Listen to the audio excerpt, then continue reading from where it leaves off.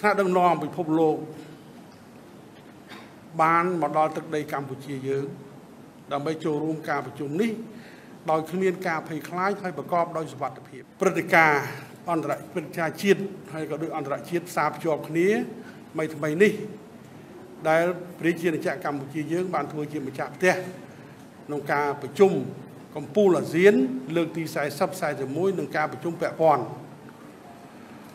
ចំណុចធំបំផុតត្រង់ថាទី1គឺខ្លឹមសារនៃការសម្រេចទាំងឡាយគឺមិនមានឧបសគ្គនោះទេក្នុងឋានៈជាប្រធានអាស៊ាន បានដោះស្រាយសម្របសម្រួលជាមួយនឹងដៃគូពាក់ព័ន្ធជាមួយនឹងអឺសមាជិកសមាជិកាអាស៊ាន នៅក្នុងតំបន់នេះ បានចេញនៅសេចក្តីសម្រេចជាច្រើន នោះជាមោទនភាពរបស់យើងមួយ ទី2គឺថ្នាក់ដឹកនាំពិភពលោកបានមកដល់ទឹកដីកម្ពុជាយើង ដើម្បីចូលរួមការប្រជុំនេះដោយគ្មានការភ័យខ្លាចហើយប្រកបដោយសុវត្ថិភាពប្រកបដោយសុវត្ថិភាព ហើយក៏មិនដែលមានក្នុងប្រវត្តិសាស្ត្រកម្ពុជាប៉ុន្តែហើយគឺថាឆ្នាំ2002 2012ប៉ុន្តែប្រៀបធៀបនឹង2022នេះ ការធ្វើជាប្រធានអាស៊ានដូវេននៅកម្ពុជានេះ គឺព្រឹត្តិការណ៍នេះវាជាព្រឹត្តិការណ៍ដែលធំជាងគេហើយដែលចាត់ចែងដឹកនាំដោយសម្ដេចកមហាសេនាបតីតេជោ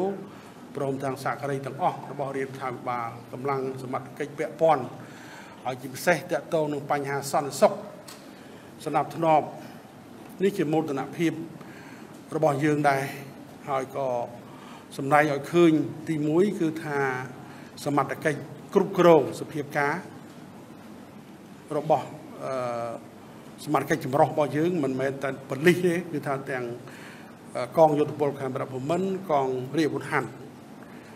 ហើយជាពិសេសទៅទៀតនោះគឺថាការគ្រប់គ្រងពីប្រជាពលរដ្ឋក្នុងការដែលបិទចរាចរណ៍បិទផ្លូវចុះឡើងអីហូហែអញ្ចឹងទៅ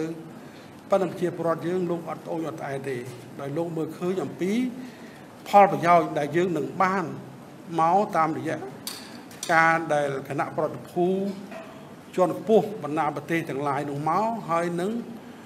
តាមរយៈសេចក្តីសម្រេចចិត្តនានាអីជាដើមលក្ខនឹងលក្ខនេះចឹងហើយគឺគាត់ពេញចិត្តមិនមែនឧទាហរណ៍ឲ្យមានការកោតសរសើរពីបណ្ដាប្រទេសមិត្តភ័ក្តិទាំងអស់ជារួមដែលបានមកចូលរួមក្នុងការប្រជុំនេះក្នុងការប្រជុំនេះ នេះគឺជាមោទនភាពរបស់យើងធំណាស់ហើយមិនមែនជាផលប្រយោជន៍របស់អ្នកនេះរបស់អ្នកនោះទេគឺជាផលប្រយោជន៍របស់យើងទាំងអស់គ្នារបស់ពលរដ្ឋកម្ពុជាទាំងអស់គ្នា ដែលយើងត្រូវបន្តអភិវឌ្ឍនៅសមិទ្ធផលនេះ ហើយទាញយកផលប្រយោជន៍ដើម្បីអភិវឌ្ឍនិងកសាងប្រទេសជាតិក៏ដូចជាការបន្តលើកកម្ពស់នៅកិត្យានុភាពរបស់កម្ពុជាយើងនៅលើឆាកអន្តរជាតិស្លា Grand View ជឿជាក់លើទេពកោសល្យបុត្រធីតារបស់អស់លោកអ្នក